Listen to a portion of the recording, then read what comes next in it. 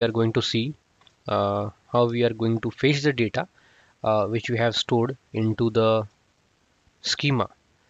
So in the previous video uh, we saw we have created this form where three fields were there and we had put this button submit button to save this data uh, into a default uh, schema right which is something the module so we have put the action type here as save. So when we, we were clicking on the submit button uh, we were directing or this URL was getting changed and we were able to see a submission ID also the uh, schema ID where this data is stored. So just to recap on that this is what we had did, um, and did. So if we click on submit so the data was getting saved and this is what we were able to see right? This is the submission id and this is the schema id so what we will do is uh, we will fetch the data which is present inside this schema. So how to do that? So in the plugin so that would be done something with the help of plugin. So i'm just dragging and dropping here this plugin component. Let me put a property id which is something making sense with the actual operation it will be doing so plug fetch data. This is what the name I have given. Uh, and in the service type we have Unqork as well as external services. So what are what are these Unqork services? So these are the services or the APIs which are already provided by Unqork which are like pre-configured by Unqork. So for example if you want to combine pdf so one service is already provided by Unqork, which is combine PDFs, concatenate images, convert image or document, and so on. There are a lot of services that Unqork provides. And if we want to talk with some external service, then we have an option here like we can select our external service so initially we need to configure that external service from a different portal in this Unqork and that configured service would, would be visible here but yeah now we are going to deal with dealing the data which is already stored uh, in this uh, Unqork schema. So for that we have a service which is uh, get submissions right? Get submission let me put it. So here if you see we have this get module submission. Or if we want more like we want all the submissions right? So we have this service which is get module submissions so here we just need to put that module id okay.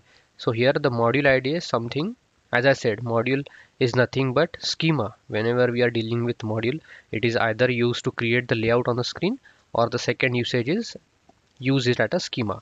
So in this example we had seen like we had created this particular uh, module uh, the same one and there we were saving the data. So all those things would be saved into this module's schema so let me copy paste this module id and if I replace here this module id with the actual id so here automatically that module will get appear which is called as sandbox. And here like we have this service so how to do that? Like we don't have anything about it. What are the parameters we need to send and what would be the data type we need to pass? So for that just click on learn more and there you will get the actual API documentation how to use this service so every time there would there are a lot of services in Unqork and every time we want to use that we need to go through this particular api specification document where all those things are there. So this is the one for get module submission. So what we need to do is path parameters as module id so path parameters we have already specified which is a module id here. So we are good with this and query parameters are this like here if we want to uh, okay we'll talk about this later as this is a transform so we'll see that this is an entirely new or this is a completely new topic or a concept. Uh, we'll see it later. Then we have a limit here. So if we want to uh, limit the number of records which we, uh, we want to fetch then this is the parameter or like query parameter for it and so on. Like like that we have a lot of things. If we want to sort data sort order a uh, lot of things are the okay so this API specification doc would help us to get more details about it. So for now what we will do is we just want to get the data from it right? Plain data. We don't want to specify anything. So what we need to do is just update here a module id which is nothing but the schema id and other things we don't need to change because as soon as we have selected that service whatever the request type is it will be pre-selected. So it is a get service as we are getting the model submissions. And again this is a trigger type. So we have seen this already. So let's put it manual for now. So we are going to manually trigger this plugin. So let's try it out.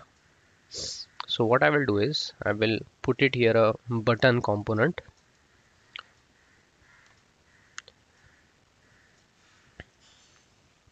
button get data. This is the one. Get data right? So I will put it on an event where I would be calling that plugin with a click of that. Plugin fetch data. So let me refresh the screen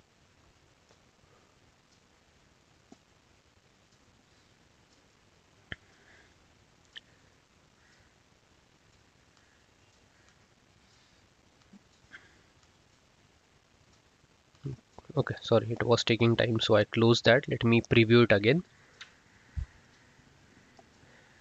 Okay so if I click on this get data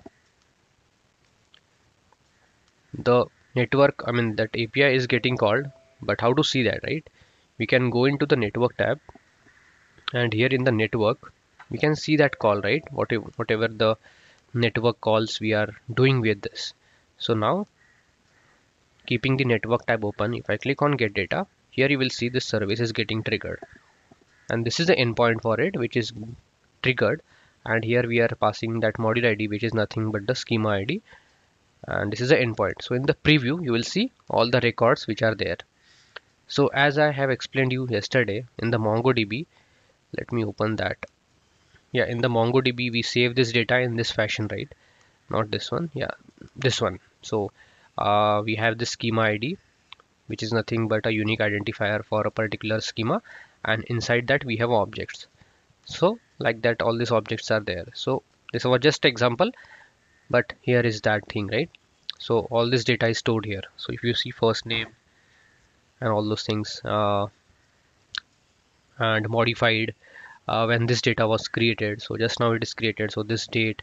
And you can see the other records also which we have uh, put it over here uh, yesterday right? In the previous video when we were creating that uh, submission.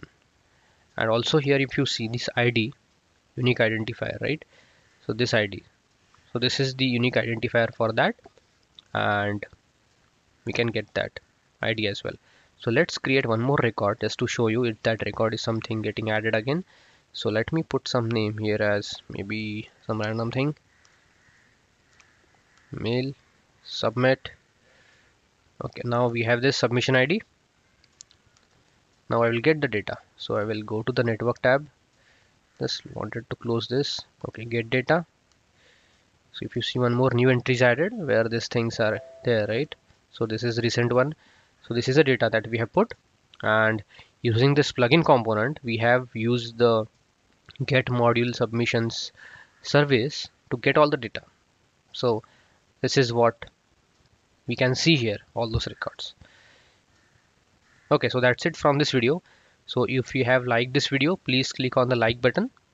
And also please don't forget to subscribe the channel. And also if you haven't accessed the playlist you can go to our channel and access the Unqork playlist. And keep sharing these videos. Thank you guys